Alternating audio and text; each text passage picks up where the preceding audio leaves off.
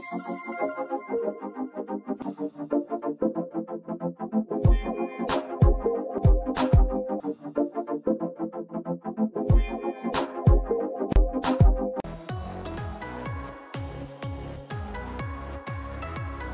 Hello guys welcome to doer classes doer classes में आपका स्वागत है। मैं ओम प्रकाश। आज आपके लिए S S C C H S L tier one two thousand seventeen का इंग्लिश सेक्शन पार्ट फोर लेकर के आया हूँ। और आज हम पेपर सॉल्व करने वाले हैं five March two thousand eighteen का शिफ्ट टू का S S C C H S L का पेपर ठीक है फ्रेंड्स आइए देखते हैं। आज हम ट्वेंटी फाइव पूरे सॉल्व करेंगे, जिसमें cloze test P Q R S one word substitution antonyms synonyms और सारे जितने भी question spotting fill in the blanks improvements सारे क्वेश्चन हम सॉल्व करेंगे। ठीक है? वन बाय वन आइए फ्रेंड्स स्टार्ट करते हैं हम स्पॉटिंग एरर से। तो पहला स्पॉटिंग एरर जैसा कि आपको स्क्रीन पे दिख रहा है she has reduced her consumption to considerably उसने अपना कंजम्पशन मतलब जो खान पान है, वो क्या कर दिया? कम कर दिया रिड्यूस कर दिया। टू कंसिडरेबली मतलब कंसिडरेबली एडवर्ब होता है और इसका मतलब होता है कि अलॉट काफ़ी अधिक मात्रा में, उसने काफ़ी मात्रा में अपना कंजम्पशन जो है, जो कंज्यूम करती थी, जो खाती थी, वो उसने कम कर दिया। तो मैं आपको बता दूँ कि एडवर्ब है एडवर्ब को किसी प्रिपोजिशन से नहीं जोड़ा जाता है, ठीक है? एडवर्ब डायरेक्ट जुड़ते हैं वन वर्ड एडवर्ब है ये, एक शब्द का है तो इसको डायरेक्टली जोड़ना है, कोई प्रिपोजिशन की आवश्यकता नहीं है। तो she has reduced her consumption और कैसे कंजम्पशन रिड्यूस किया? कंसिडरेबली काफ़ी अधिक मात्रा में कंजम्पशन मतलब कहने का उसने खाना पीना कम कर दिया, ठीक है? तो टू जो प्रिपोजिशन है, इसकी आवश्यकता नहीं है। यहाँ पे अननेसेसरी है तो थर्ड ऑप्शन में आपकी एरर होगी। इसलिए आपका कौन सा? ऑप्शन थर्ड करेक्ट होगा, ठीक है ना? सेकेंड क्वेश्चन देखेंगे आप। Second spotting error liquid water can not exist on the surface of Mars liquid water जो है कैन नॉट एग्जिस्ट नहीं एग्जिस्ट कर सकता है, रह सकता है on surface of Mars Mars की सरफेस पर एज क्यों as to low atmospheric pressure मतलब कहने का, यहाँ पर ये भाव देना चाह रहे हैं, कम एटमॉस्फेरिक प्रेशर के कारण, और कौन सा कम atmospheric pressure which is less than जो कि है, वो atmospheric pressure which is less than one percent of Earth जो कि कम है अर्थ के एक परसेंट से भी मतलब कहने का। एक्सेप्ट सिवाय at the lowest elevation of for short period except सिवाय किसके? एट द लोवेस्ट एलिवेशन मतलब कहने का, सब छोटी छोटी ऊंचाइयों के, छोटे एलिवेशन होता है माउंटेन कह सकते हो, छोटी ऊंचाई जो बहुत ही कम ऊँची हो, ठीक है? तो लोवेस्ट एलिवेशन छोटे छोटे पर्वतों छोटे छोटी ऊंचाइयों तक फॉर शॉर्ट पीरियड थोड़ी समय के लिए। मतलब जो लिक्विड वाटर है, वो मार्स की सरफेस पर नहीं एग्जिस्ट कर सकता है। किस कारण से? एटमॉस्फेरिक लो एटमॉस्फेरिक प्रेशर के कारण, और कैसा low atmospheric pressure which is less than one percent of Earth देखिए अर्थ के बाद ये आपका डिटरमाइनर हो गया। इसके बाद एक नाउन आना चाहिए, ठीक है? लेकिन मैं आपको बता दूँ कि अगर आपका सब्जेक्ट और ऑब्जेक्ट दोनों में सेम नाउन का मतलब रिपीटिशन होता है तो ऑब्जेक्ट वाला नाउन या फिर सब्जेक्ट वाला जो भी आप समझ सकें, उसको छोड़ सकते हैं एपोस्ट्रॉफी के साथ। तो जैसे अर्थ है ना विच किसके लिए आया बताइए? विच आया है? विच इज़ लेस जो कि कम है, एक परसेंट से भी ज़्यादा। कौन कम है? एटमॉस्फेरिक प्रेशर तो एटमॉस्फेरिक प्रेशर के लिए विच आया है? तो atmospheric pressure is less than one percent of Earth और इतने में छोड़ दिया। तो इसके बाद हमें अपने से अंडरस्टूड है ये, हमें समझना चाहिए कि एटमॉस्फेरिक प्रेशर यहाँ पर भी है, ठीक है? उस एटमॉस्फेरिक प्रेशर से, जो एटमॉस्फेरिक प्रेशर एटम अर्थ के एक परसेंट एटमॉस्फेरिक प्रेशर से भी कम है, ठीक है? तो वहाँ पर लिक्विड वाटर एग्जिस्ट नहीं कर सकता। तो यहाँ पर जो एरर का पार्ट है, वो यहाँ पर है एज टू इसको आप ध्यान दीजिए। लिक्विड वाटर नहीं एग्जिस्ट कर सकता है मार्स में कम एटमॉस्फेरिक प्रेशर के कारण। ये तो केवल एडजेक्टिव फ्रेज है, इसको आप छोड़ दीजिए, ना भी पढ़ें तो चलेगा। फिर सेंटेंस को पूरा करिए पहले। तो लिक्विड वाटर एग्जिस्ट नहीं कर सकता मार्स में कम एटमॉस्फेरिक प्रेशर के कारण। सिवाय कहाँ? सिवाय at except at the lowest elevation for short period कि सिवाय छोटी ऊंचाइयों के कम समय के लिए। कम समय के लिए छोटी ऊंचाइयों पे तो एग्जिस्ट करता है लिक्विड वाटर बहुत ही कम समय के लिए एग्जिस्ट करता है। लेकिन और सरफेस पर मार्स में कहीं एग्जिस्ट नहीं कर सकता है। और किस कारण से? एटमॉस्फेरिक लो एटमॉस्फेरिक प्रेशर कारण। तो एच टू जो है ना एच टू का के कारण का मतलब नहीं देता। यहाँ पर आपको क्या लिखना चाहिए? यहाँ पर आपको लिखना चाहिए ड्यू टू क्या लिखेंगे आप? ड्यू टू लिखेंगे अगर तो आपको करेक्ट मीनिंग देगा यहाँ पे। तो अगर आप ड्यू टू लिख दिए यहाँ पे liquid water can not exist on the surface of Mars due to. Due to low atmospheric pressure अब लिक्विड वाटर एग्जिस्ट नहीं कर सकता मार्स में, कम एटमॉस्फेयर प्रेशर के कारण। तो ड्यू टू का मीनिंग करेक्ट हो जाएगा। ड्यू टू की जगह और कुछ भी कर सकते हैं ऑन अकाउंट ऑफ़ भी कर सकते हैं ओविंग टू भी कुछ भी कर सकते हैं, ठीक है? मतलब सेंस यही देना है आपको। तो कौन से पार्ट में एरर होगी? फ़र्स्ट पार्ट में आपकी एरर होगी मतलब कहने का ऑप्शन वन करेक्ट होगा। इतनी छोटी सी एरर थी इसमें, ठीक है ना? आगे बढ़ते हैं थर्ड नंबर क्वेश्चन की ओर। थर्ड नंबर में आप देख रहे हैं, यहाँ पे आपको फ्रिंदा ब्लैंक्स भरवाना चाह रहे हैं। This is cars I know ये वही कार है this is car I know मतलब जिसे मैं जानता हूँ। अब कार में, कैसी कार वो आपको बनाया the worst car worst car mostly worst car one of the worst car आप देखिए, यहाँ पे मोस्टली वर्स्ट कार आया है, ठीक है? चलिए ठीक है, आप पहले ये बताइए कि यहाँ पे सुपर सुपरलेटिव डिग्री मतलब वर्स्ट कार का सेंस देना है। मतलब सबसे बुरी कार है, जिसे मैं जानता हूँ। अगर यहाँ पे आप लिखते हो the worst car this that is the worst cars I know. तो ये सबसे बुरी कार है जो मैं जानता हूँ, लेकिन आप अगर एक चीज़ नहीं ध्यान दिए तो आप गलत कर जाओगे, द वर्स्ट भर के। मोस्टली वर्स्ट या वर्स्ट तो वर्स्ट के पहले आर्टिकल द आना चाहिए क्योंकि सुपरलेटिव डिग्री तो ये ऑप्शन तो आपका वैसे ही कर गया, है ना? कट गया। अब द वर्स्ट कार या मोस्टली ज़्यादातर वर्स्ट कार तो ये भी उतना सुटेबल नहीं है तो इसलिए आप इस ऑप्शन को भी काट सकते हैं। अब ये ऑप्शन और ये ऑप्शन इन दोनों में कैसे चूज़ करेंगे तो मैं बताता हूँ। द वर्स्ट कार्स, यहाँ पर क्या लिखा है? कार्स लिखा है प्लूरल है नाउन आप बताइए worst car this is that is the worst car अगर आप वर्स्ट सुपरलेटिव लिखते तो यहाँ पर सीधी सी बात है सिंगुलर नाउन भरना चाहिए था प्लूरल क्यों भरा? प्लूरल भरने का रीज़न क्या है? इसने ये ऑप्शन दे रखा है आपको, और यहाँ पर द वर्स्ट कार्स नहीं हो सकता, गलत हो जाएगा, क्योंकि सिंगुलर आपको भरना पड़ेगा।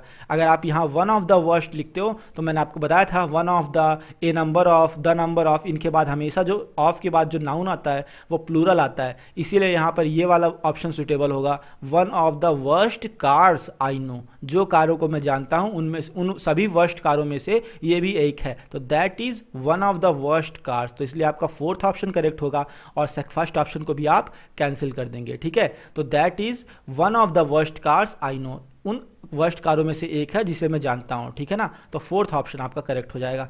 फोर्थ ऑप्शन चौथा नंबर आप क्वेश्चन देखेंगे। The dash of many archaic and dilatory procedures have prove to be extremely damaging to our governance and society पहले तो आप इसका मीनिंग समझेंगे, फिर हम ऑप्शन की तरफ़ जाएँगे, ठीक है? The dash of many archaic होता है प्राचीन, ठीक है? ओल्ड ठीक है? बहुत सारी प्राचीन और डायलेटरी प्रोसीडर्स लंबे चौड़े प्रोसीडर प्रक्रियाएँ जो होती हैं, बहुत सारे प्राचीन और लंबी चौड़ी प्रक्रियाएँ have to be have prove to be वो साबित हुई हैं एक्सट्रीमली डैमेजिंग बहुत ही ज़्यादा नुकसानदेह टू आवर गवर्नेंस हमारी शासन और सोसाइटी और समाज के लिए। तो किस प्रकार की प्राचीन और डायलेटरी प्रोसीडर का, प्राचीन और डायलेटरी प्रोसीडर की आखिर क्या चीज़ जो है हमारे लिए बहुत ज़्यादा डैमेजिंग साबित हुई है हमारी गवर्नेंस और सोसाइटी के लिए? काशन मतलब कहने का सावधान होता है ट्रांसलेशन अनुवाद होता है और रिवॉल्यूशन होता है क्रांति और इम्पोजिशन होता है लादना, ठीक है? बहुत सारी प्राचीन और मतलब कहने डायलेटरी प्रोसीडर्स लंबे चौड़े जो आपके प्रोसीडर्स होते हैं, प्रक्रियाएँ होती हैं, उनको लाद देना बहुत ही ज़्यादा नुकसानदेह है हमारे गवर्नेंस और सोसाइटी के लिए। तो इम्पोजिशन अगर आप कोई प्राचीन व्यवस्था है या प्राचीन प्रक्रिया है, कोई प्राचीन कानून व्यवस्था को यहाँ पर ला देंगे तो बहुत ही ज़्यादा गवर्नेंस में भी नुकसान होगा हमारे समाज को भी। हम पुराने ट्रेडिशंस को अपनाते हैं, जैसे सती प्रथा हो गया, इस तरह की चीज़ें। बहुत सारी ऐसी चीज़ें हैं जो पुरानी चीज़ें हैं। अगर हम बुरा सोचे समझे उन्हें इम्पोज कर देते हैं, लाद देते हैं तो हमारे लिए क्या क्या हमारी गवर्नेंस और सोसाइटी दोनों के लिए हानिकारक हो जाती है? तो यहाँ पर कॉशन ऑफ़ इन सभी का, अगर उन सभी से सावधानी होगी तो हमारी गवर्नेंस सोसाइटी कैसे डैमेज होगी? तो कॉशन तो हो नहीं सकता, ठीक है? कोई नेगेटिव चीज़ ही होगी जो इन पे अप्लाई होगी तो हमें नुकसान करेगी। ट्रांसलेशन अनुवाद तो किसी लैंग्वेज में होता है तो ये भी नहीं होगा। रिवॉल्यूशन क्रांति, अगर इनकी क्रांति होती है तो हमारे नुकसानदेह होगी। ये हो सकता है, लेकिन जब हमें इम्पोजिशन वर्ड दे रखा है तो हम इसको रिवॉल्यूशन को नहीं चूज़ करेंगे, ठीक है? प्रक्रियाओं में क्रांति कोई तर्क भी नहीं बनता है, इसलिए इम्पोजिशन इम्पोजिशन होता है किसी कानून व्यवस्था, किसी नियम को लाद देना। तो प्रोसीडर ये है भी वही चीज़। मैं बहुत सारी प्राचीन और डायलेटरी प्रोसीडर्स और जो लंबे चौड़े प्रक्रियाएँ हैं, बहुत लंबी लंबी प्रक्रियाएँ, प्रथाएँ हैं, उनको अगर हम इम्पोज कर लेते हैं, लाद देते हैं तो हमारी समाज और शासन व्यवस्था दोनों के लिए क्या नुकसानदेह हो जाती है? मतलब थर्ड ऑप्शन आपका टोटली करेक्ट होगा, इसलिए थर्ड ऑप्शन आपको चूज़ करना है। फिफ्थ नंबर क्वेश्चन में आप देखेंगे, आपको one of the best express choose करना है, ठीक है? तो कर्टेल क्या होता है? कर्टेल माने होता है संक्षिप्त कर देना, बहुत ही कम कर देना, ठीक है? प्रोलॉन्ग मतलब होता है लंबे समय से चला आ रहा लेन देन मतलब कहने का लंबाई बढ़ाना टाइप में एक्सटेंड माने भी बढ़ा देना होता है डाउन साइज़ माने कम कर देना, है ना? संक्षिप्त कर देना तो आपका फोर्थ ऑप्शन ये पे करेक्ट हो जाएगा। साइनोनिम बेस्ट एक्सप्रेस बनेगा। इन्फ्रेंस क्या होता है? इन्फ्रेंस होता है डिडक्शन एक तरह से कहने का किसी समरी को पढ़ के आप उसमें से जो मेन पॉइंट ड्राइव आउट करते हैं, जो डिड्यूस करते हैं, वो डिडक्शन जो डिड्यूस होने के बाद निकलता है, वो आपका डिडक्शन कहलाता है। निष्कर्ष जिसे कहते हैं, ठीक है? तो इन्फ्रेंस माने क्या हो गया? निष्कर्ष डिडक्शन इसका साइनोनिम होता है। बिगिनिंग माने शुरुआत, है ना? प्रिपरेशन माने होता है तैयारी डिस्कवरी माने खोज, और कंक्लूजन माने भी निष्कर्ष होता है, जो कि आपका बेस्ट एक्सप्रेस ऑप्शन होगा सेकंड ऑप्शन करेक्ट है। ठीक है ना? आगे बढ़ते हैं सेवंथ नंबर क्वेश्चन की ओर। सेवंथ नंबर क्वेश्चन देखेंगे।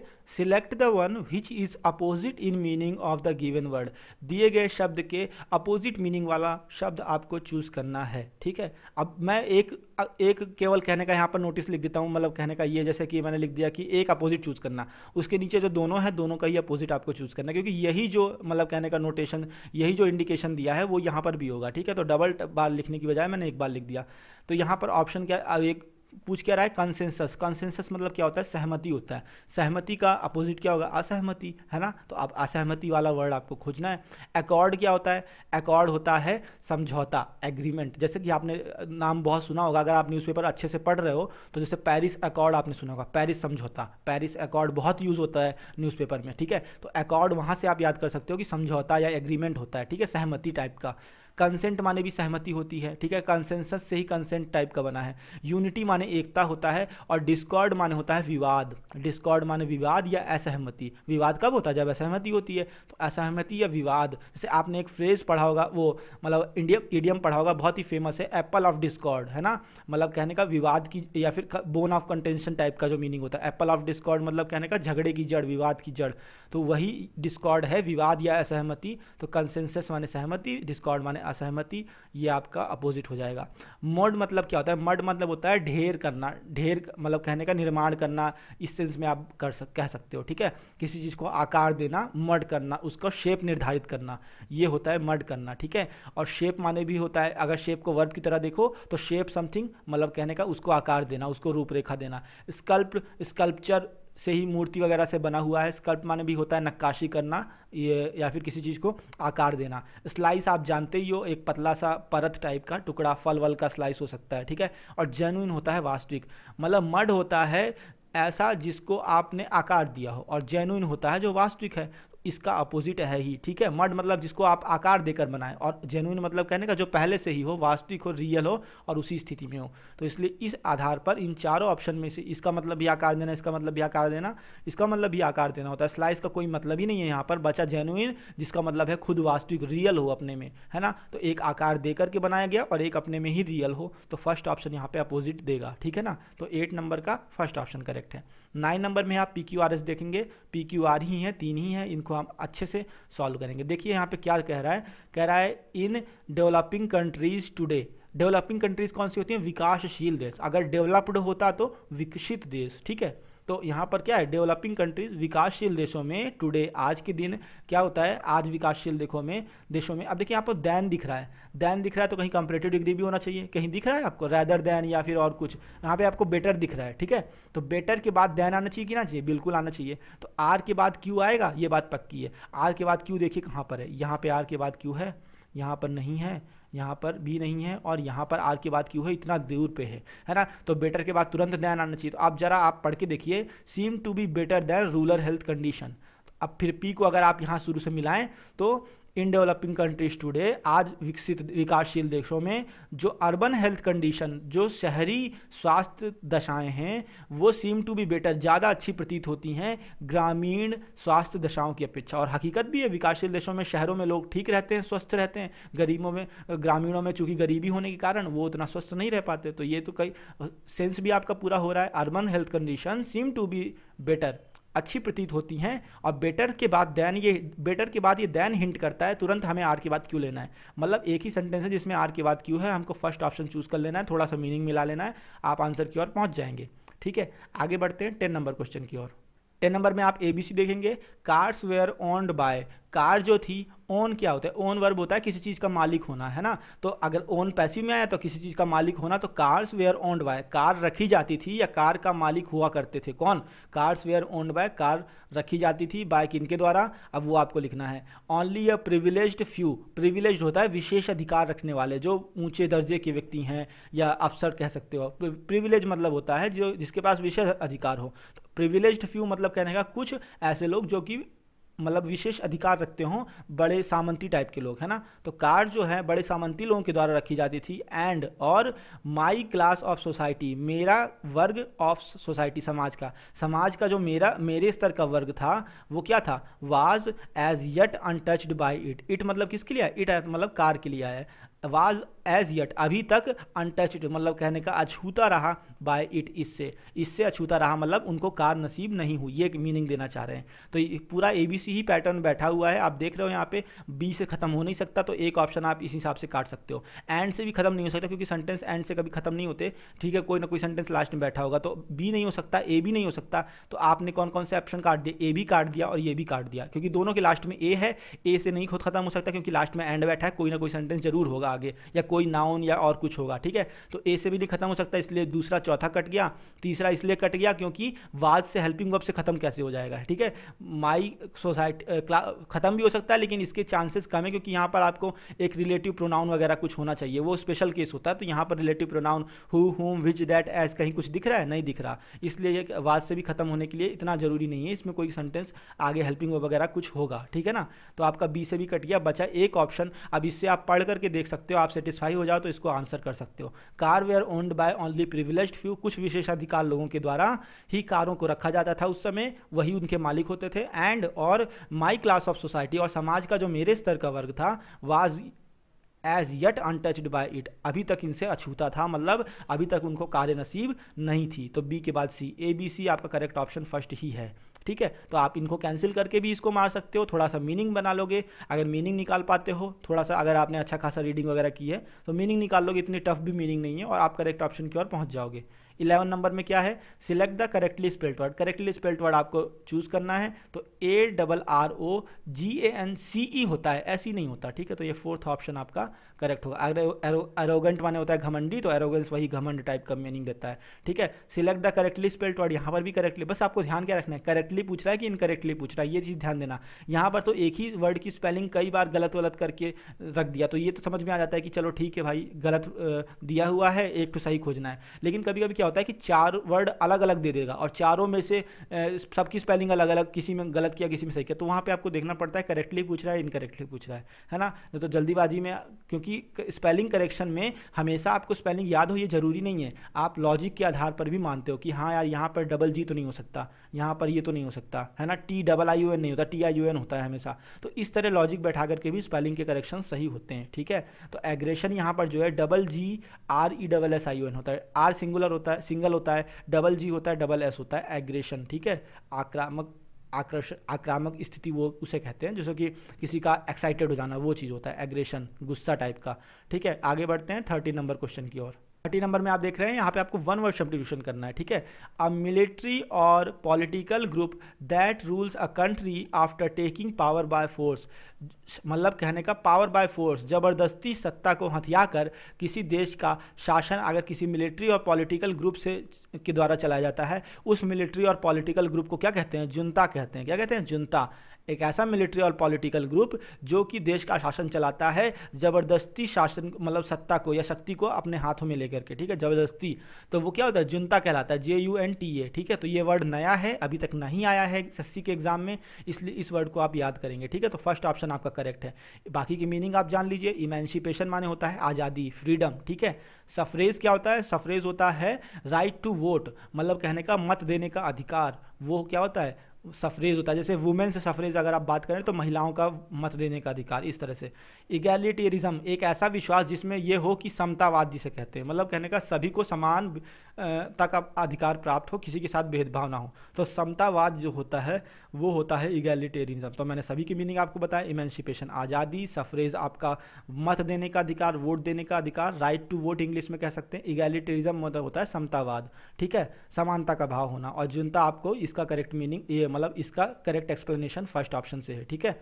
फोर्टी नंबर नंबर का वन वर्ड सब्सटीट्यूशन देखेंगे। अ पर्सन हु लीव्स एक वैसा व्यक्ति जो रहता है आउटसाइड हिज नेटिव कंट्री अपने स्वदेश से दूर मतलब नेटिव कंट्री होता है, उसकी मात्र जो उसका खुद का देश है जहाँ का वो सिटीजन है, वहाँ से दूर रहता है। जो वहाँ से बाहर रहता है, अपने देश से बाहर रहने वाला, उस व्यक्ति को क्या कहते हैं? उसको कहते हैं विदेशी या कह सकते हैं एक्सपैट्रिएट इंग्लिश में, ठीक है? एक्सपैट्रिएट इसकी स्पेलिंग भी याद रखनी है आपको थर्ड ऑप्शन आपका करेक्ट है। इंडिजीनस क्या होता है? स्वदेशी मतलब टाइप का नेटिव इंडिजीनस को आप कह सकते हो, अपने देश में निवास करने वाला, सिटीजन टाइप का। तो नेटिव इसका साइनोनिम होता है। नेटल होता है जन्मजात मतलब उसके जन्म से संबंधित। जैसे नेटल होम मतलब ऐसा होम जहाँ, जो उसके जन्म से संबंधित हो, जहाँ पर उसका जन्म हुआ हो, कुछ इस तरह का, है ना? नेटल कंट्री रिलेटेड टू है ना, इस हिसाब से हो सकता है। इंट्रेंसिक मतलब होता है आंतरिक, है ना, उसके रियल जैसे आंतरिक गुण इंट्रेंसिक नेचर उसका आंतरिक उसकी आंतरिक प्रवृत्ति है इस हिसाब से। तो इंट्रेंसिक आंतरिक होता है, ठीक है ना? एक्सटेंसिक बाहरी होता है इस हिसाब से। फिफ्टीन नंबर में आप देखेंगे द वर्कर्स इसका आपको क्या एक्टिव पैस एक्टिव है, इसको पैसिव बनाना है। The workers are building the house वो क्या कर रहे हैं हाउस बना रहे हैं बिल्डिंग द हाउस कौन सा टेंस है? प्रेजेंट कॉन्टिन्यूस है। प्रेजेंट कॉन्टिन्यूस का पैसिव कैसे बनता है? ये आर प्लस वर्ब का एनजी फॉर्म है इज़ एम आर वर्ब का एनजी फॉर्म का पैसिव बनता है। Is am are being verb का एनजी फॉर्म है ना? तो इज़ एम आर है तो इज़ एम आर रहेगा। ये जान लीजिए कि एक्टिव पैसिव में कभी भी टेंस नहीं बदलता। आप देख रहे हो कि यहाँ पर आर प्रेजेंट है, ये पास्ट कर दिया, ये भी पास्ट कर दिया। तो यार इतना तो दिमाग हम लोगों के पास भी है कि पास्ट तो हो ही नहीं सकता। सेंटेंस है तो प्रेजेंट में ही रहेगा, ठीक है ना? क्योंकि एक्टिव पैसिव बना रहे हैं। हम कहीं नॉरेशन तो बना रहे ही रहे कि हम रिपोर्टिंग वर्ब के अकॉर्डिंग चेंज कर दें। नॉरेशन का रूल यहाँ मत लगाइएगा। ये चीज़ बहुत होती है। आजकल क्वेश्चन जम्बल्ड देता है तो कहीं नॉरेशन दे देगा, कहीं कुछ दे देगा। खासकर मेंस के पेपर में तो लड़कों को पता नहीं लगता कहीं नॉरेशन का रूल एक्टिव पैसिव में लगा देंगे, एक्टिव पैसिव का रूल नॉरेशन में लगा देंगे और सब गलत कर देते हैं। और एक दो ऑप्शन इस तरह के ज़रूर दिए रहते हैं कि आपके रूल्स भी वहाँ फिट हो जाते हैं। ठीक है ना? तो आर आया है। अभी इसका पैसिव बनाना है तो आर का क्या होगा? अब इसका ऑब्जेक्ट होगा द हाउस तो इज़ बींग होना चाहिए। भाई आपका प्रेजेंट कॉन्टिन्यूस में बींग आता है तो यहाँ पर इज़ बिल्ट है, यहाँ पे बींग है तो आप सिर्फ़ इतना देख करके इस करेक्ट ऑप्शन की ओर पहुँच जाएँगे। यहाँ टेंस मैच नहीं कर रहा, इसलिए काट दिया। इसको बींग नहीं है, इसमें इसलिए काट दिया। बचा एक ऑप्शन जिससे आप आंसर की ओर चले जाएँगे, ठीक है? और यहाँ आर की जगह इज़ इसलिए है क्योंकि हाउस आपका सिंगुलर है। The house is being built by the workers तो सारे रूल्स अप्लाई करना ज़रूरी नहीं है। बस जो इसमें रूल नहीं अप्लाई हो रहा, उनको काटते चले जाओ सही आंसर की ओर पहुँच जाओगे, ठीक है? आगे बढ़ते हैं। अब 16 नंबर से हमें क्लोज टेस्ट करना है 16 टू 20 ठीक है? फाइव क्लोज टेस्ट के ऑप्शंस आपको दिख रहे हैं यहाँ पर और ये पूरा क्लोज टेस्ट है। इसको हम करने का हमारा तरीका आपको पता ही है। आप पहले सिंगल रीडिंग करेंगे, इसका मीनिंग आपको बताएँगे। उसके बाद वन बाय वन सारे ऑप्शन पुट करेंगे और उसका कंप्लीट मीनिंग निकाल करके और सेट आपको भी सेटिस्फाई करेंगे, ठीक है? तो आइए स्टार्ट करते हैं। पहले इसका मीनिंग निकालते हैं और मीनिंग इसका समझ लेते हैं जल्दी से। वन रीडिंग करते हैं। वैन द कैरोसिन बर्नड जब कैरोसिन जली the fuel in the tank, जो टैंक टैंक बिलो मतलब नीचे जो टैंक था, उसका जो ईंधन था वुड बी वो क्या होगा? डैश प्रेशर प्रेशर में। अब वो प्रेशर दबाव में होगा। The fuel in the tank below मतलब जो टैंक, नीचे टैंक रखा था बिलो लिखा है ना, नीचे तो जो नीचे टैंक था, उसका जो फ्यूल है, वो प्रेशर में हुआ। एंड और स्मॉल सर्कुलर फ्लेम और एक छोटी सी सर्कुलर मतलब होता है, ये गोल गोल फ्लेम मतलब होता है, अग्नि would appear in the burner दिखाई देगी बर्नर में, ठीक है ना? एक छोटी सी सर्कुलर कलर की जो आग है फ्लेम है, लपट है, वो दिखाई देगी बर्नर में। The valve had to be opened valve को ओपेंड खोल दिया जाना हैड टू बी ओपेंड उसे खोलना होगा to let the more kerosene vapour to let माने अनुमति देने के लिए मोर कैरोसिन और ज़्यादा मिट्टी के तेल को के वेपर वाष्प को टू द बर्नर बर्नर में आने के लिए। मतलब वाल्व को खोलना होगा ताकि और ज़्यादा कैरोसिन वेपर जो है, वो बर्नर में आ सके एंड पंपिंग रिज्यूम्ड और पंपिंग जो है, वो फिर से रिज्यूम हो सके, चालू हो सके। With the increase in pressure pressure में बढ़ोतरी होने से द बर्नर फ्लेम जो बर्नर की आग है वुड स्पीड वो फैलेगी। अलाउड वॉइस एक तेज आवाज़ के लिए। अब क्या भरना है? वो आपको भरना पड़ेगा। To lower the flame flame को कम करने के लिए the valve had to be opened valve को खोल देना होगा। टू रिड्यूस कम करने के लिए द प्रेशर दबाव को। एंड देन और तब टाइट एंड और टाइट कर देना होगा। अनटिल जब तक कि द डिजायर्ड फ्लेम इच्छुक जो आग की लपट है लपट का साइज़ जो है वाजेट्यूड प्राप्त ना हो जाए। जब तक कि आग की साइज़ जो लपट है, उसका साइज़ प्राप्त ना हो जाए, तब तक हमें क्या करना पड़ेगा? उसको खोला छोड़ देना होगा। और जैसे ही हमें वो साइज़ मिल जाता है, जितना साइज़ हमें चाहिए तो हम क्या करेंगे? उसको बंद कर देंगे। ठीक है? You wanted the flame to be bigger अगर आप फ्लेम को और बिगर करना चाहते हो you had to hit the piston again आपको फिर से पिस्टन को हिट करना पड़ेगा। पंप स्टोव्स और पंप स्टोव्स जो पंपिंग वाले स्टोव्स हैं are still in vogue in vogue का मतलब होता है इन फ़ैशन। आज भी प्रचलन में हैं। ठीक है? तो ये पूरा का पूरा जो टॉपिक लिखा है क्लोज टेस्ट का, ये आपका जो घर में मिट्टी के तेल से चलने वाला स्टोव हुआ करता था, जिसमें हम पंप मारते थे, उधर से वाल्व ढीली कर देते थे, अगर ज़्यादा तेज जलता था तो फिर धीमा हो जाता था, फिर पंप मारते थे, फिर तेज हो जाता था, है ना? तो और एक छोटी सी सलाई होती थी, जिससे छेद करते थे ताकि मिट्टी का तेल जल्दी से अगर कुछ फंसा है तो तुरंत निकल आए। वो सारी प्रोसेस इन्होंने बताई है, ठीक है? अगर आपको ये इस तरह की स्टोरी पता है तो आपको ये क्लोज टेस्ट करने में बहुत आसानी होगी अदरवाइज़ थोड़ा सा क्रिटिकल हो सकता है, लेकिन जिस तरह से ये टेन प्लस टू के पेपर में पूछा गया है और ऑप्शंस दिए हैं तो ये आपके लिए कोई मुश्किल नहीं है, भले ही आपको पता है या ना पता हो, ठीक है? तो इसमें तो आप ये भी जानोगे कि कैसे हम स्टोव का यूज़ करते हैं और उसको भी इंजॉय करेंगे और क्लोज टेस्ट को कैसे इतना आसानी से भर पाते हैं, वो भी आप देखोगे, ठीक है ना? तो हम इसको थोड़ा क्लियर करते हैं, उसके बाद वन बाय वन सारे ऑप्शन पुट करते हैं, ठीक है? तो आइए पहले ऑप्शन की ओर बढ़ते हैं। जब कैरोसिन जलती है तो fuel in the tank below जो टैंक नीचे होता है। अब आप इमेज इमेजिन करिए कि आज जो स्टोव है, आप स्टोव जला रहे हो, ठीक है? और जैसे जैसे हम पढ़ रहे हैं, वैसे वैसे हम स्टोव में वही कार्य करेंगे तो आपका क्लोज टेस्ट और ईजी हो जाएगा, आपको पढ़ने में भी मज़ा आने वाला है, ठीक है? तो कैरोसिन जैसे ही जलता है तो fuel in the tank below जो नीचे का टैंक होता है, उससे फ्यूल वुड बी क्या होगा? प्रेशर, दबाव में। द्रब कैसे दबाव में होगा? 16 नंबर में। इनसाइड प्रेशर होगा, इनटू प्रेशर होगा, अबाउट प्रेशर होगा या अंडर प्रेशर होगा। बिल्कुल दबाव में होगा। अंडर प्रेशर एक फ्रेज होता है, ये अक्सर यूज़ होता है। प्रेशर के साथ अंडर प्रेशर होता है। इन प्रेशर ये सब नहीं होता। You, are you under pressure? क्या आप दबाव में हो? Are you not under pressure? क्या आप दबाव में नहीं हो? इस तरह आप डेली यूज़ में प्रयोग करते हो न्यूज़पेपर में अक्सर आता है, ठीक है? तो ये अंडर प्रेशर ये सिंपल है मतलब कहने का प्रीपोजिशन जो आपको चूज़ करना है, ठीक है? तो यहाँ पर आप अंडर प्रेशर लोगे, एक फ्रेज टाइप में समझ सकते हो। अंडर प्रेशर मतलब दबाव में, ठीक है? आप इसे नोट भी कर सकते हो। तो कैरोसिन जब जलती है तो फ्यूल टैंक जो होता है फ्यूल जो होता है टैंक का, जो नीचे टैंक लगा होता है, उसका फ्यूल वुड भी वो कहाँ होगा? वुड बी अंडर प्रेशर वो दबाव में होगा। एंड और अ डैश सर्कुलर फ्लेम और circular flame would appear in burner burner में एक सर्कुलर फ्लेम दिखाई देगी, आग दिखाई देगी। सेवनटीन किस प्रकार की आग? स्लो स्लोली स्लोअर स्लोवेस्ट मतलब कहने का would be under pressure and slowly a small slowly धीरे धीरे एक स्मॉल सर्कुलर फ्लेम एक छोटी अब यहाँ पे आप लिखोगे अगर स्लो सर्कुलर फ्लेम तो धीमी सर्कुलर अब फिर यहाँ पे आर्टिकल ए भी लिखा है। अगर यहाँ पर आर्टिकल ए नहीं होता तो हम यहाँ स्लो भरते। स्लो स्मॉल सर्कुलर फ्लेम तो सही हो जाता, कोई दिक्कत नहीं थी। धीमी धीमी और स्मॉल छोटी सी और सर्कुलर फ्लेम हो गया। लेकिन अब यहाँ पर आपको आर्टिकल ए लिखा है मतलब ये पूरा का पूरा सब्जेक्ट है। तो आप यहाँ क्या भर सकते हो? एक एडवर्ब ही भर सकते हो एडजेक्टिव नहीं भर सकते, ठीक है? तो यहाँ पर आपको स्लोवेस्ट एडजेक्टिव स्लोअर ये आपका कंपरेटिव एडजेक्टिव हो गया, है ना? तो कंपरेटिव डिग्री हो गया और स्लो ये सिंपली एडजेक्टिव हो गया। लेकिन स्लोली क्या हो गया? एडवर्ब हो गया। इसलिए आपको स्लोली भरना पड़ेगा यहाँ पर ठीक है? क्योंकि यहाँ पर आर्टिकल ए लगा तो मतलब ये पूरा का पूरा सब्जेक्ट है, इसमें आप कुछ ऐड नहीं कर सकते हो, ठीक है? तो और स्लोली धीरे धीरे ए सर्कुलर फ्लेम एक गोलक आकार, जो फ्लेम है सर्कुलर आकार की गोली आकार की वुड अपियर वो दिखाई देगी इन बर्नर बर्नर में। ठीक है ना?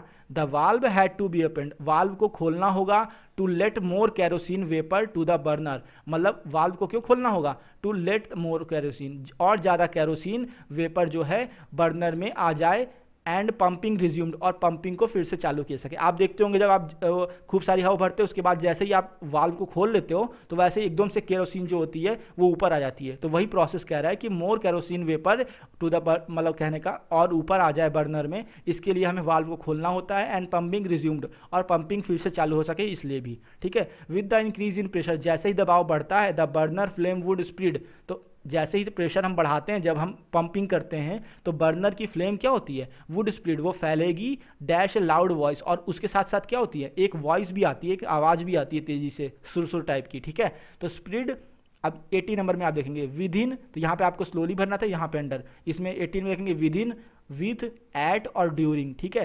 तो जो फ्लेम है, वो वुड स्प्रिट वो फैलेगी विथ अ लाउड वॉइस एक तेज आवाज़ के साथ। विद इन एक तेज आवाज़ के अंदर या विथ या फिर ड्यूरिंग तो ड्यूरिंग का भी मतलब नहीं है। स्प्रिड ड्यूरिंग लाइट वॉइस तेज आवाज़ के दौरान ही फ्लेम फैलेगी, ऐसा नहीं है। मतलब कहने का फ्लेम भी फैलती है और साथ साथ आवाज़ भी उसकी तेज होती जाती है। तो विथ आपका ऑप्शन यहाँ पे करेक्ट होगा। मतलब कहने का the burner flame would spread जो बर्नर की फ्लेम है, वो फैलेगी विथ अ लाउड वॉइस एक तेज आवाज़ के साथ। आवाज़ भी बढ़ती जाती है और जो फ्लेम है, वो भी बढ़ती जाती है। दोनों ही चीज़ें एक साथ होती हैं, ठीक है ना? तो यहाँ पे आपको कौन सा सेकंड ऑप्शन चूज़ करना था? आप 19 भरेंगे। To the to lower the flame अगर आपको लो फ्लो जो स्टोव जल रहा है फ्लेम ज़्यादा हो गई, आपने हवा भर दी, अब उसके बाद क्या करना है? फ्लेम को आपको कम करना है। तो क्या करते हैं? The valve had to be opened हम उसको, जो वाल्व है, उसको ओपन करना होगा टू रिड्यूस द प्रेशर ताकि प्रेशर कम हो जाए एंड देन टाइटेंड और उसे फिट अब देखिए, यहाँ पर क्या कह रहे हैं? Valve had to be opened उसे खोलना होगा। अब कैसे खोलना होगा? 90 नंबर में देखिए। पार्टली हल्का सा खोलना होगा, सम खोलना होगा, सम तो मतलब ही नहीं है। सम ओपेंड कोई मतलब नहीं है, ठीक है? यहाँ पे आपको क्या है? वर्ब है तो वर्ब के पहले क्या आएगा? एडवर्ब आना चाहिए। तो एडवर्ब आपका कौन सा है? ये तो नन एडवर्ब है। तो नन ओपेंड ये गलत हो जाएगा। नेगेटिव एडवर्ब की आवश्यकता नहीं है। एवरीथिंग प्रोनाउन है। सम आपका एडजेक्टिव है, कोई मतलब नहीं है। पार्टली आपका एडवर्ब है, जो कि यहाँ करेक्ट ऑप्शन बनेगा। पार्टली पार्टली अगर आप यहाँ भरते हो तो क्या होगा? इसका मीनिंग हो जाएगा the valve had to be partly opened valve को पार्टली मतलब हल्का सा कुछ अंश तक ओपन खोलना होगा to reduce the pressure pressure को कम करने के लिए एंड देन और फिर टाइटेंड और टाइट करना होगा अनटिल जब तक कि desired flame size has achieved जब तक कि इच्छुक फ्लेम का साइज़ ना प्राप्त हो जाए। हम लोग यही करते हैं, जब हमारा आग तेज हो जाती है तो हम उसे वाल्व को खोल देते हैं, थोड़ा सा खोलते हैं और तब तक खोलते, खोले रहते हैं जब तक कि हमें उस अपनी साइज़ की फ्लेम ना मिल जाए और जैसे ही मिल जाती है, हम फिर से उसे टाइट कर देते हैं, ठीक है? तो वही ये कह रहे हैं the valve had to be partly open तो हमने नाइनटीन का फ़र्स्ट ऑप्शन भर लिया पार्टली हल्का सा ओपन करना होगा। और इसका सिंपल रीज़न यही है कि यहाँ पे वर्ब है वर्ब के पहले एडवर्ब भरा जाता है। यहाँ पर आप देख रहे हो एडवर्ब नन है, लेकिन नेगेटिव एडवर्ब हमें नहीं चाहिए मीनिंग के अनुसार। बाकी ये दोनों एडवर्ब है ही नहीं। ये प्रोनाउन हो गया, ये आपका एडजेक्टिव हो गया, इसलिए पार्टली एकमात्र एडवर्ब है जो हमें भरना होगा यहाँ पे। आगे बढ़ते हैं। The dash you wanted to flame to be bigger अगर यू चाहते, तुम चाहते हो wanted the flame to be bigger अगर आप फ्लेम को और ज़्यादा बड़ा करना चाहते हो you had to hit the piston again आपको फिर से पिस्टन पीटना होगा मतलब फिर से हिट करना पड़ेगा, फिर से हवा भरनी पड़ेगी। तो यदि आप चाहते हो तो ऐसा करना पड़ेगा। तो इफ़ यहाँ पे दिया भी है। If if you wanted the flame to be bigger अगर आप फ्लेम को और बढ़ना करना चाहते हो तो you had to hit the piston again आपको फिर से पिस्टन हिट करना होगा। तो ट्वेंटी का फ़र्स्ट ऑप्शन आपका करेक्ट हो गया। Pump stove are still in vogue in vogue इस फ्रेज को आप याद कर लीजिए। इन फोग होता है प्रचलन में या इन फ़ैशन फ़ैशन में। आजकल के दौर में अभी भी पंप स्टोव्स बिल्कुल फ़ैशन में है ठीक है? तो ये तो आई होप आपने इसको एक एडिटोरियल की तरह एंजॉय किया होगा मीनिंग होगा और इसका क्लोज टेस्ट को कैसे भरना है ये भी आपने समझा। अब हम बढ़ते हैं अगले 21 नंबर क्वेश्चन की ओर और, और देखते हैं कि 21 क्वेश्चन में क्या है। जैसा कि आपको दिख रहा है यहाँ पर स्नेहा सेट टू अर्जुन, ये आपको क्या डायरेक्ट स्पीच से इनडायरेक्ट बनाना है। स्नेहा सेट टू अर्जुन, स्नेहा ने अर्जुन से कहा गो अवे चले जाओ यहाँ से। ठीक है? तो अब यहाँ पे क्या कह रहे हैं? ऑर्डर कर रही है। अब आपको यहाँ पर सिर्फ़ इतना चेक करना है। पहले आप देखिए कि टू गो अवे को कैसे जोड़ते हो? इम्परेटिव सेंटेंस है टू से जोड़ देते हो। To go away to go away, to go away. तीन में है, इसमें नहीं है, इसको आप वैसे काट दीजिए। अब बचा क्या? यहाँ पे सेट टू है पास्ट में टेंस है, ये भी पास्ट में है इंक्वायर्ड भी पास्ट में से टू पहले कट जाएगा, ठीक है? तो थर्ड भी कट गया। अब पहले चौथे ऑप्शन में आप देखेंगे सेट टू अर्जुन से कहा, चले जाओ। अब थोड़ा मीनिंग समझिए। चले जाओ। क्या वो पूछ रही है कि चले जाओ? अगर ये कहती है कि क्या तुम जा रहे हो तो हम समझते हैं हाँ इंक्वायर कर रही है, पूछ रही है। लेकिन इंक्वायर तो कर नहीं रही, वो कह रही है कि जाओ तो कह रही है या फिर कह दो, आदेश दे रही है। तो मतलब कहने का ये इंक्वायर भी नहीं होगा, बचा पहला ऑप्शन जो आपकी करेक्ट ऑप्शन हो जाएगा, ठीक है? तो स्नेहा ने अर्जुन को आदेश दिया कि चले जाओ, इस हिसाब से, ठीक है? 22 नंबर क्वेश्चन में देखेंगे एट द माइक्रो लेवल सूक्ष्म स्तर पर the dialectical process of development in India dialectical process होता है मतलब कहने का आप समझ सकते हो, सत्य की खोज टाइप की, है ना? विचारों की एक प्रक्रिया ऑफ़ डेवलपमेंट विकास की इन इंडिया भारत में हैज़ नाउ हेडिंग टूआर्ड्स अब वो बढ़ रही है टूआर्ड्स एन डायरेक्शन दूसरी दिशा में, ठीक है? हैज़ नाउ बढ़ी है अब हैज़ नाउ हेडिंग तो हैज़ के बाद क्या वर्ब का एनजी फॉर्म आता है? नहीं आता ना? तो अब क्या, या तो आप क्या करो इसमें? हैज़ के साथ वर्ब की थर्ड फॉर्म लो वर्ब की हैज़ ही नहीं दिया इसमें, ठीक है? अगर हैड लेते हो तो क्या होगा? हैड की जगह आप क्या करोगे? हेडिंग तब भी गलत है, क्योंकि इसमें भी वर्ब की थर्ड फॉर्म होनी चाहिए। नाउ हेडिंग तो यहाँ पे नाउ हेडिंग कैसे करोगे भाई? हेल्पिंग वर्ब तो रहनी चाहिए ना? हैज़ नाउ हेडिंग तो हेल्पिंग वर्ब भी नहीं रहेगी तो फिर क्या मतलब? ये भी कट जाएगा। नो इंप्रूवमेंट इसलिए कट जाएगा क्योंकि दिया हुआ सेंटेंस में भी वर्ब की थर्ड फॉर्म नहीं है, इसलिए ये भी सही नहीं है। दो ऑप्शन भी गलत है, बचा एक, जिसमें इज़ के साथ आई फॉर्म दिया जो कि सेंटेंस को पूरा करेक्ट करेगा। इसलिए आपको लिखना पड़ेगा माइक्रो लेवल पे डायलेक्टिकल प्रोसेस जो है डेवलपमेंट की इज़ नाउ हेडिंग अब वो बढ़ रही है टुवार्ड्स एन अदर डायरेक्शन दूसरी दिशा में। सेंटेंस को पूरा करेक्ट करेगा थर्ड ऑप्शन ठीक है? तो ट्वेंटी में थर्ड ऑप्शन करेक्ट हो जाएगा। आगे बढ़ते हैं ट्वेंटी नंबर क्वेश्चन की ओर। 23 में आप देखेंगे I wondered what one would have thought some 40 years ago मतलब मैं आश्चर्यजनक हूँ कि वाट क्या वन मतलब जनरल एक व्यक्ति की बात कर रहे हैं कि क्या उसने, अब हम किसी को भी समझ सकते हैं, क्या उसने, क्या लोग सोच रहे होंगे वुड हैव थॉट सोचा होगा सम 40 ईयर्स एगो लगभग 40 साल पहले 40 साल पहले लोगों ने क्या सोचा होगा? इफ़ यदि यू हैड सेड तुमने कहा यू कुड हीट लिक्विड कि तुम liquid you could heat liquid तुम तरल पदार्थ को गर्म कर सकते हो यूजिंग ए प्लास्टिक कंटेनर एक प्लास्टिक के कंटेनर में। अगर अगर तुमने ये कहा होगा कि, कहा कि प्लास्टिक कंटेनर में तुम एक लिक्विड को गर्म कर सकते हो सपोज़ करो पानी को तुम एक प्लास्टिक के कंटेनर में गर्म कर सकते हो तो 40 साल पहले अगर तुमने ऐसा कहा तो मतलब लोगों ने क्या सोचा होगा? आई वंडर्ड में आश्चर्यजनक था, है ना? तो ऐसा मीनिंग दे रहा है कुछ। तो हमको इतना पूरे मीनिंग से मतलब नहीं है, हमें सिर्फ़ इतना करना है, मैंने मीनिंग बता दिया आपको।